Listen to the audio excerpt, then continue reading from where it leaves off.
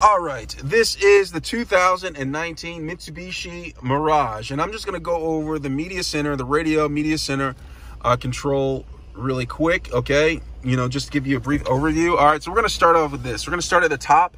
Right here is the radio button. You press that, it can change the radio. All right, it goes from FM to AM. If I press it once, it goes AM. Press it again, it goes to uh, AM or FM.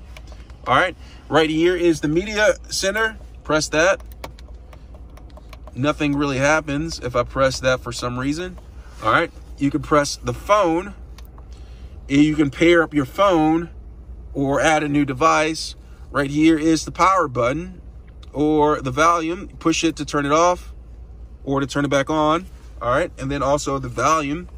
And then right here is the seek track right here. And then the home button. Press that, brings it to home. You have the option that you can use a touch screen to uh, AM, FM, USB, or Bluetooth, or the phone option, or the settings option. Press that. Settings takes you all here. You can change it to night mode, change the clock, language, sound, display, radio system, all of that.